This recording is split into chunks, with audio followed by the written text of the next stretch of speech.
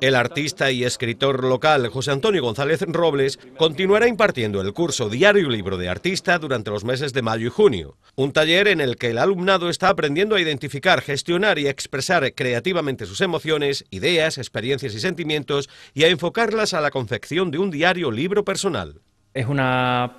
prórroga, porque bueno, la, idea de, la idea de este curso era crear la costumbre de hacer diarios eh, escritos y dibujados. He propuesto unas pautas de exploración emocional que se empieza haciendo por escrito y después tiene una continuación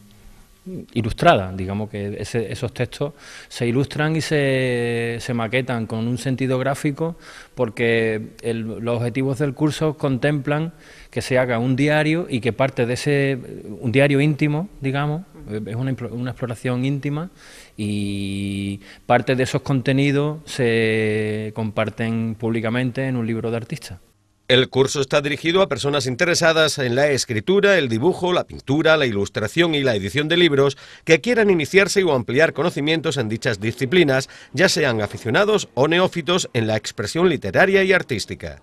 Por una parte tiene una componente de exploración de, de, las emociones, de la exploración de la intimidad, pero siempre se hace en un contexto dentro de lo que cabe lúdico